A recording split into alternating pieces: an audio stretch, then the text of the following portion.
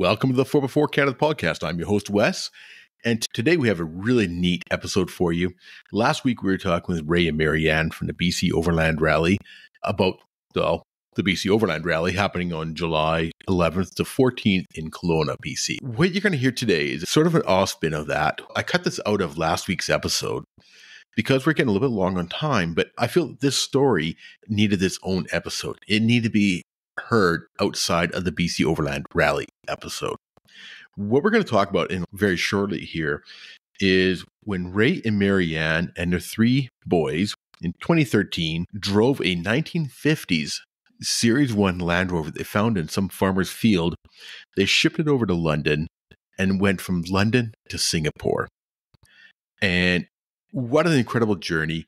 Trust me, you're going to love this episode. We talked about people, we talked about the ingenuity of trying to fix a Land Rover in the middle of Turkey or Iran or uh, India, all these different places that they went to. And I found a really interesting discussion. Before we get into that, though, we got to do a little bit of housekeeping. As mentioned earlier, last week's episode was with Ray and Marianne, BC Overland Rally. If you have not uh, listened to the episode yet, go back a week, check it out. It's definitely worth listening to. We talk about all kinds of the reasons why people come there, right? It's a annual event that people come and see old friends, meet new friends. There's great vendors. There's all kinds of courses going on, incredible giveaways. But it all circles back around to people and the overlanding lifestyle. And it's an incredible interview with Ray and Marianne from BC Overland Rally. Next week, we've got Northern Ontario Off Road Jeep Club coming up on board. We got a whole bunch of things coming up after that. Jason from Overland Alberta, he talks about Overland Alberta YouTube channel. He also talks a bit about the Alberta Outdoor Adventure Expo, as well as uh, the Trails for Tomorrow organization, where he is now the current vice president. After that, we've got uh, a really fun and loving couple from True North Okanagan. Uh, if you guys have not checked them out on, on YouTube, you got to check them out. True North Okanagan. Wonderful couple. You're, we're laughing the whole time. And just when you watch the videos, you just, they're just a cute couple. They're really neat. And they're getting better and better with their YouTube videos. So check them out on YouTube. Speaking of YouTube, a couple weeks ago, we had Finding Life's Moments on. And they actually came up and visited me, Kamloops, and uh, I showed them around, and they're up here for a couple days. And there is so much great content that they decided to break it into two videos. So last week they released day one, and this week on Sunday they're releasing uh, day two. Check them out, Finding Life's Moments on YouTube. Uh, hit the and subscribe button, and uh, you'll see some of the local sites that uh, I showed them around Kamloops area. Coming up, we have on June 1st, there is a Overlander meet and greet in Vernon at Vernon Toyota. It's a third annual. It's a fun event last year. I went last year, checked it out. If you are going, you know, I'll be wearing my black and red 4x4 Canada podcast shirt. So uh, if you see me, hit me up. Love to meet more and more people. Love to meet some of our listeners in person. And I'm really looking forward to this. I'm going to be doing some interviews with uh, both some of the people there, but also the vendors as well. And that will be a whole episode upon itself as well. So, for more information, probably your best bet is check out Okanagan Overlanding on uh, Instagram. And there's got more information on his page as well as poster. But if you have any questions, DM him. I've heard there's some more people coming than last year. So it's, it's definitely going to be a fun event for sure. And as mentioned, coming up in July, we got the BC Overland Rally, July 11th to 14th. Like I say, go back to last week, check it all out. But in the meantime, listen to this story with Ray and Marianne about going from London to Singapore over the course of nine months in a beat up Series 1 Land Rover that seems to break down every three, four days, whatever it is. But I personally, I can't imagine doing that trip in that vehicle three teenage or preteen boys. And you've got to listen to the interview. I, I don't want to give it all away because I'm going to be honest with you. It was one of my favorite interviews this year so far. Let me know what you think. You've got a sickness in regards to your vehicles. It's an yeah. illness. We call it the Land Rover illness because, well, they're Land Rovers. Yeah. everybody who owns a Land Rover recognizes the fact that it's a love hate relationship, right? So. Yeah, definitely. But you've been in Land Rovers for years. And I know that both you and Marianne have done some pretty epic travels around the world in Land Rovers. I know that you guys also made a trip. Was it from England to over to China or something like that with your kids? It was London to Singapore. Yes. Yeah. In a old Land Rover with a couple kids. Yeah, three kids. So it was a, three kids. Yeah. Holy jeez. boys. It was a 1954 Series One that I got out of a field, and it, I think I paid three hundred dollars for it. And it hadn't run for twenty years, and it had no glass, and it had no seats, and we basically we didn't bother restoring it. We just got it running. And the day we got it running, I drove it to the BC Land Rover show, and it caught on fire on the way there. So that kind of tells you a little bit about the condition of this mm-hmm. truck. And so anyway, but the next day we put it in a box and we shipped it to England. And then we flew over there, both of us and our three kids, three boys. They were like 12, 13, 14 at the time. And uh, yeah, we spent nine months in this little car. It's the size of a Volkswagen Beetle. And we Yeah. drove from London all the way to Singapore. So we went all through Europe and through the Middle East and through Asia. And it was a pretty cool trip. And yeah, that little truck broke down every single day. Every day. We met a lot of really nice mechanics on the way. Yeah. But it was interesting. There was two reasons for that trip. One was we were recreating the original London to Singapore first overland trip that was done by a bunch of students from Cambridge and Ox- Oxford in 1955. And so that was fun because it was the same year and model of truck. And there's not many of those. I think there's only like when I found it, I looked in the Series 1 registry and they said there was only three of these left in the world that they knew of at the time. So we're like, we've got the truck, we should do the trip. But the other reason to do it was I wanted at an extreme level to just show that you don't need to put a hundred thousand dollars worth of equipment into the newest, coolest truck to go on a camping trip, even on a big, long, multi-month camping trip, right? Yep. And because there are services everywhere and there's people everywhere. And, and each of us had a little duffel bag, a little waterproof duffel bag for all of our gear. Yeah. So one for each of us and one for each of the kids. And that duffel bag had to have your clothing, your entertainment, your pillow, your blanket, and your sleeping pad. The only thing it didn't have was your tent. And so we had a little tent for Marianne and I, and another little tent for the three kids to sleep in. And I had one box in the back full of basic little kitchen stuff. I had one of those little MSR backpacking stoves, and I had a box full of tools, which was used a lot. And that's it. What else did we have? Yeah, that was it, really. Yeah. Oh, I, I, I didn't have a fridge, but I had one of those those little soft coolers you can get at Yeah. the party. You can carry a six pack. yeah. We had That two was of it. them, right? We had two. We had two of those little things, I and think that so. that was That it. was our fridge. Yeah, and it was cool because it forced us to live off the land. Like I, Yeah. I couldn't pack groceries for a couple of days. Like we had to stop and buy food for every meal. And and people think, oh, if I'm going on a remote trip somewhere, I need to carry all this stuff. I need to carry a week's worth of food. And but the reality is, anywhere in the world where there's people, there's food, right? hmm And Yeah. you might be in a remote village somewhere and you don't speak the language, but you knock on a door and you pull Google Translate out on your phone and you say, Is there somewhere in this village I can buy food? And they'll go, Oh, yeah. And they'll point you to a house and you knock on a door and you buy something. And half the time we didn't even know what we were eating, but that was cool. It was all part of the adventure. never got too sick, maybe in India, but, but the rest of the time we didn't get too sick. And, but yeah, it was cool. And it forced us out of our comfort zone. It forced us to Mhm. rely on people, right? And that's the other thing, right? You can get a little too self sufficient sometimes, right? We try to over prepare sometimes when we go on an overland trip, especially a big trip.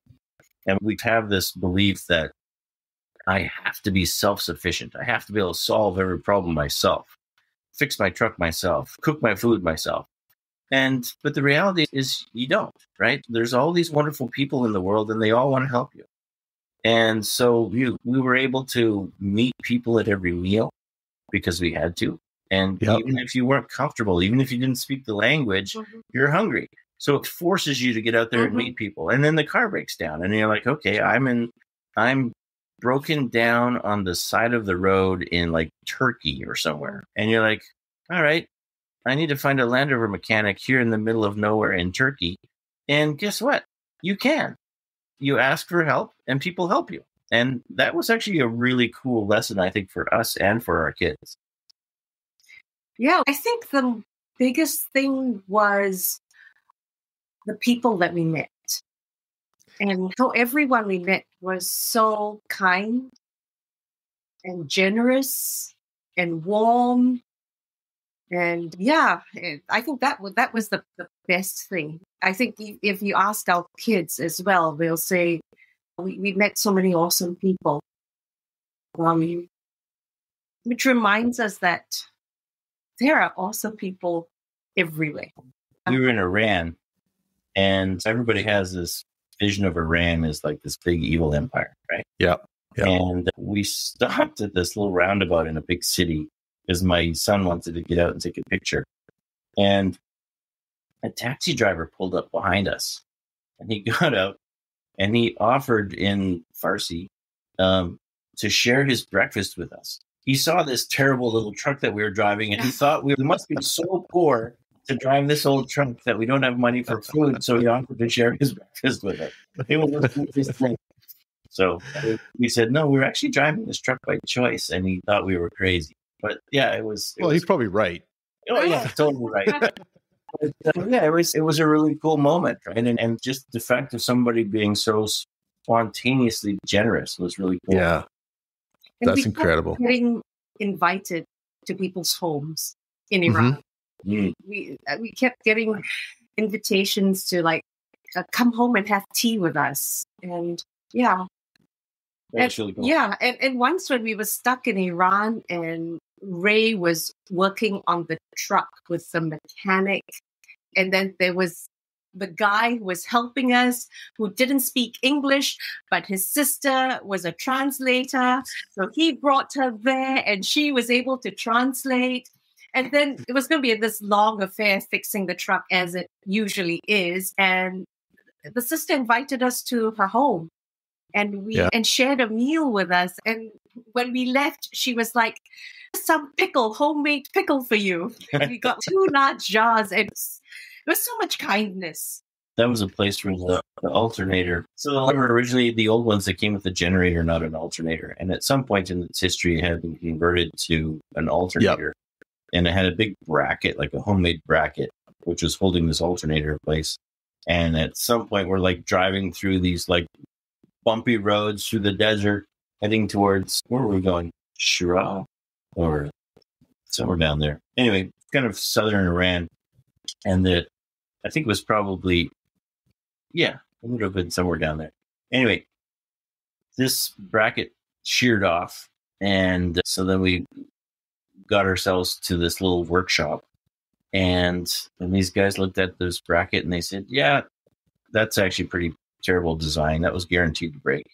And, and they machined a new part for me. They, they actually took the time, they dropped everything they were doing, and they went to the machine shop and machined a new part.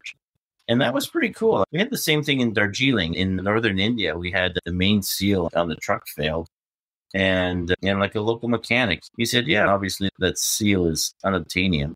But he cut the leather brim off of an old Gurkha military and he used it as a supplemental seal. He kind of wedged it in, and then he machined an overseal out of aluminum and bolted it in place. And that seal is still on my truck. Yeah, pretty cool. Wow, that's Yeah. just incredible. It's so fun. Like people are so innovative when they have to be, right? That's the things they have to be right. We're so used to being able to wander down to Napa or Lordco and buying a seal or something like that, whereas they just don't have that option there. So that's absolutely incredible. So Marianne, you're stuck in a vehicle with four guys from London to Singapore. Mhm. How bad did that thing smell? Oh, badly. okay. Things that were like way more challenging. I was going to say you probably couldn't smell the people through like the the smell of burning coming from the engine and things Oh, like there, that. were, there were things like before we left, we had to weigh every single thing, including ourselves, because the truck was so old. And Well, it, and it's a small little Yes. truck. And Oh yeah. and I, I felt okay. This is already going to be improbable that this truck is going to make this journey, and overloading it, which is the sin that most overlanders fall into, is not going to help. And yeah, where I, I said, okay, what's the actual capacity of this truck? How much can we take? And if it didn't fit, we just left it behind. Of course, within the first week, I think the rear springs failed anyway, and I had to get a new set of rear springs. But we were in England; so it was easy to find a set, so that was good. Right. and even then, when we were traveling through the mountains in Italy, and there were these shops, and every time the, the you know the was it the tire would scrape. the truck would lean. So when we were in England, the only set of springs I could find were a set of parabolic springs. And parabolic springs for a Series 1 are great for somebody who has a little Series 1 who doesn't load it up very much and just Yeah. drives it to like car shows and stuff. They're very comfortable, but they're also not very stiff. And we had this thing loaded right up to the max. And so then we, yeah, we're driving through these little windy roads in, in Italy in the mountains. And every time we went around a corner, the truck would sway so far that the tires, the rear tires, were rubbing against the tub and almost rubbing a hole through the aluminum in the tub. And we all had to lean into each corner like we were on a like, motorcycle. physically.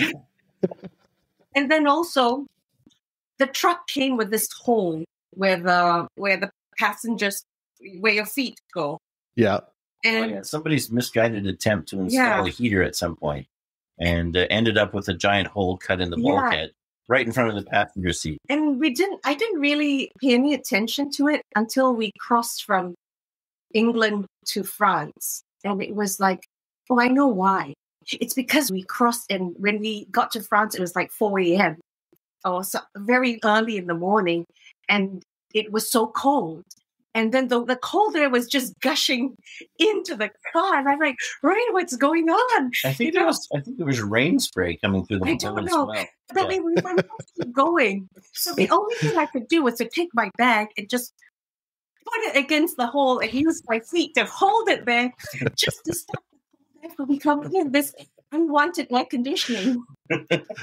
Uh, there's, but that's what memories are made out of, right? We can sit here and laugh about it today. So, so it was too cold in Europe, and then it was way too hot in Asia. In. Thailand, it was like 40 degrees, and the truck has no air conditioning. And then, oh, so the truck broke down as usual. And then somebody comes to rescue us from Bangkok, and he's got his minivan, and he says, "Who wants to ride with me?" And of course, my boys go, "Yes, we're gonna ride with you." In the air conditioning. Conditioning, and then Yes. traffic going into Bangkok and it was so hot. And then the only thing we could use to cool ourselves down was to take uh, face cloths, wet it, and just literally put it on our heads and make use of evaporative cooling just to keep cool. I can't imagine taking a Land Rover out of the field, getting it running, it catching on fire, then throwing it in a container, throwing it over to England, and driving from London to Singapore. That just it still just blows my mind. Like it just I remember we were giving a talk when we came back at Northwest Rally. We were standing there at the campfire talking about our trip. We had a big map. I'm showing people some of the places Yeah. we've and just telling kind of funny stories about what had happened. And somebody at the campfire said, Before you left, what did you think your chances of success were? And I thought about it and I Mhm. said, maybe 30%. And Marianne turns to me at the campfire and she's shocked and she says, 30%? You never told me that. I was like, "Huh, if I told you, you never would have come. So, some things are left best unsaid, right? Oh, there were so many times on that trip when I'd get frustrated with the truck. I'm in the middle of nowhere and it's snowing and the truck is broken and I'm trying to fix it with my limited tools. And I would say to myself, okay, that's it. One more time. If it breaks down, I'm just going to take the license plates off and I'm going to light it on fire. We're going to take a bus. the rest it. I know it was, we finally made it. Yeah. It was an adventure, that's for sure. Yeah. So, what was that feeling like when you're pulling in? You're getting close to the end of your trip. Is it a like a bittersweet moment kind of idea? Yes and no. I think for the end of the trip was Singapore. Yeah. And Singapore is still it's, it's a cool destination in itself, right? Yeah. But I think getting back to Canada at the end of that, right after being on the road for traveling in general for almost a year, there's actually something that overlanders talk about, and they call it like like overland letdown or something like that. But it's like this feeling when you've done this epic trip and you get back to home again and and then okay now I'm, I'm back at my job and i'm sitting in my cubicle and it's it's almost like it was a distant memory it never really happened and, yeah. and it can be hard to adjust a lot of people really struggle to adjust when they come back and they like re-entry into society again after doing that big long adventure it seems silly but it, it actually is it can be difficult for a lot of people to to get through that it was awesome reaching singapore uh, especially because Singapore was the place where our Land Rover journey first began, because that's when we uh, got our first Land Rover. And we were very close to the Land Rover community there. So okay. It was really nice reaching Singapore, and there were people from the Land Rover community who, you know, who met us at the border. And then that evening, literally, we got there and then got to Singapore. We we met them, had some, went to a hawker center, had some food with them, and then there was going to be like a, a, gathering at a local pub. And my parents live in Singapore. So literally, we got to my parents' place and said, Hi, we're really sorry, but we have to go for a gathering. It was really nice seeing our friends again. Yeah. That yeah. was funny. Yeah. Yeah. We thought it was going to be a little gathering and we got to this pub and they had rented the whole pub and they like, they made us drive in. It was like an outdoor kind of pub, right? Big patio. And they made us drive into the middle of the pub with the truck and parked it in the middle. And everybody had this big party all around it. It was pretty fun. Was cool. Oh, that sounds like great. That was actually one of the other questions I had too. This whole overlanding and exploring thing. Is this something that has always been in the both of you? Is it something that happened after you met? So i the first time i camped was when i was in my 30s and i had uh, the boys were still little. Yeah. And uh, we had made a conscious decision that we wanted the boys to grow up comfortable in the outdoors and had to go camping and I had to learn how to camp while I had these three little boys and we lived in Singapore at that time and we would camp in Malaysia. And it, it's it's quite a journey to be comfortable camping. I, and for me as an adult, and I still re- remember the first camping trip that we went, I had to bring everything from Singapore I had to bring jerry cans of water from Singapore. And I was like, okay, before you go to bed tonight, you're going to have to wash all this mud off you with this water from Singapore. and, and, then, and that how finally all these things and fears just fall away as you become more comfortable in the jungle and comfortable with the river. And then after some time, it's, oh, yeah, if you're dirty, just go into the river. Just yeah. wash yourselves off. And these plates that we're eating on, let's just wash it in the river. And and this is not a pristine river like we have at home here. Right? This is the brown, muddy, murky river, like a trail of mud snaking through the jungle. And yeah, yeah, whatever after, is the cleaner. We would just strip the kids naked and throw them into the river and hope the best. So. Good memories there that we learned from other people. Like the boys learned how you can watch for fish, tiny little fish, and how you can cup them from the sides and tickle their bellies and oh. little things like that. Yeah, very cool. Yeah, it, it, I grew up in Prince George, right? And I, I came from a hunting and camping family. And so for me, going out and going into the backcountry was just something I grew up with. I can never remember a time not doing that. Yeah. And then living in Singapore and working in Singapore, which is where I met Marianne and we had kids, it's a city state, it's a concrete jungle, right? So if you want to go camping, and we did, so we bought a Land Rover, uh, and and that was a lot of fun. Got a, a Defender 110 in, in Singapore, and we would drive it up into Malaysia and go camping. But it's the rainforest, right? It's mm-hmm. serious, full on Malaysian rainforest. It's not okay. I'm gonna go camp at the KOA, right? This is I'm driving into the Endau Rompin rainforest, and there's tigers and poisonous snakes and elephants, right? And and so it was a pretty cool experience and i've got a picture somewhere of one of the kids sitting in like this little muddy patch of sand next to a river and he's sitting in a circle made by panther tracks which is actually pretty cool. And the whole kind of the experience was pretty cool. It was for me being a Canadian boy from the West Coast, able to camp in the jungle. That was epic. It was really awesome. That is so neat. So, how did the BC Mountain Boy end up in Singapore? I actually went over there for work, and I wasn't oh. expecting to stay as long as I did. But then I met Marianne, and I ended up staying for like 15 years. So, yeah. Oh, the rest is history, right? right.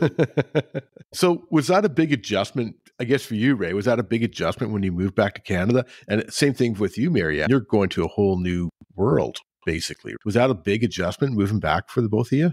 It was. I think there's two things. We didn't move straight back to Canada. We moved to, to New York. And so we lived okay. in New York City for a while. And then I semi retired and we moved back to BC.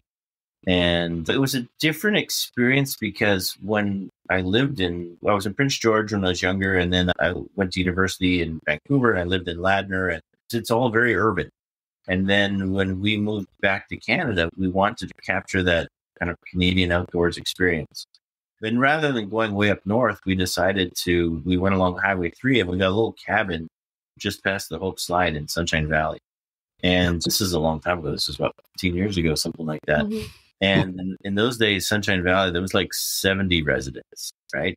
And there was nothing there. There was now there's a big RV park and a ton of stuff. Yeah. But in those days, it was just a bunch of little cabins that were remnants of an abandoned ski hill back in the woods, right? And so that was pretty cool. We had bears walking through the yard, and the kids would be able to just, they'd literally get up in the morning and they would push their dirt bikes out the front door and jump on them and go riding up the mountain. It's an experience you struggle to find these days in Canada, right? Yeah. And even if you go to smaller communities, you really have to be out on your own to have that sort of very rustic environment. And so and we wanted the kids to have that experience. We wanted them to see what it was like having that Canadian, very rural uh, experience. And I, I, one of the things for me living in Singapore and then living in New York is I really miss the mountains. And Sunshine Valley is great. It's a little tiny mountain community. You're tucked in the hills mm-hmm. and lots of shoveling snow. That's right. Yeah. I think we've got on average 18 feet of snow every winter. And then that, and we had this terrible old cabin. It was awesome, but it was awesome and terrible at the same time. A little ski cabin that was built probably in the 50s or 60s or something. And it had no insulation and it had been added on and it had three fireplaces in it scattered around, three little wood stoves. And we heated this place with wood. And you'd go out to a clear cut after the logging company has left, and I'd hook up my winch and I'd skid logs out to the road, and we'd be bucking them into eight foot pieces. So I could throw them on my trailer, bring them back home, and then basically cut and buck all this wood, probably five or six cords for the whole winter, and like that. And then not just getting the wood ready and drying it, but then physically heating a whole house that size just with wood it's a full time job. Like somebody tending that stove all day, right? And and at night too, right? you learn a lot about fire.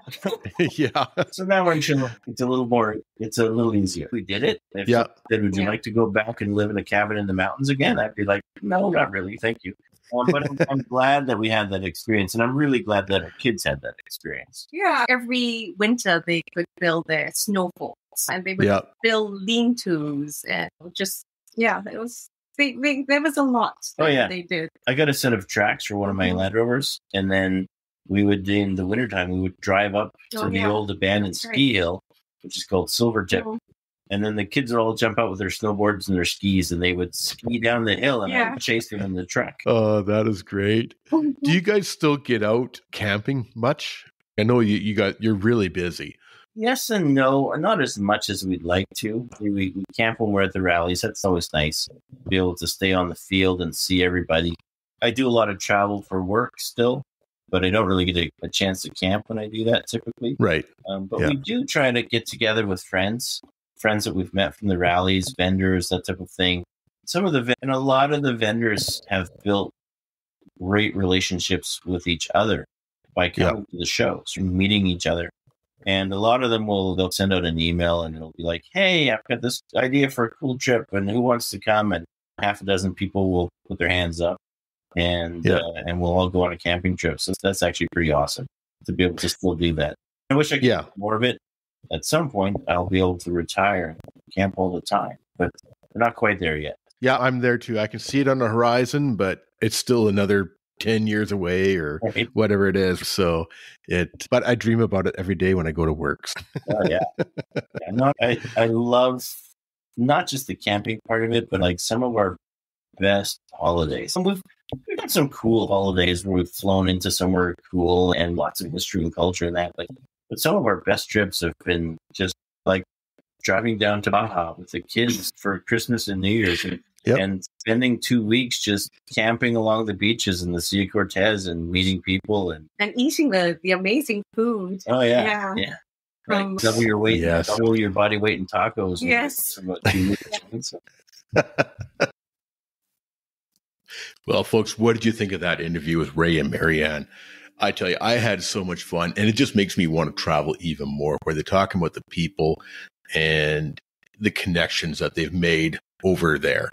Love the interview. If you would like to be a guest, or you know somebody that you think would be a great guest on the show, uh, another Canadian, hit us up on either Instagram at 4x4 Canada or our website. We do have a spot where you can fill out a quick form and uh, email us. And we would love to have more guests on. And we're not just talking about overland, we're talking about all kinds of things. We've had everything from off road racers and mud racers and desert racing, uh, just general 4x4 people, as well as companies. We want to help promote and support Canadian 4x4 overlanding related companies. So if you would like to be a guest or you know somebody who, that you think would be a great guest on the show, hit us up and we'll see what we can do.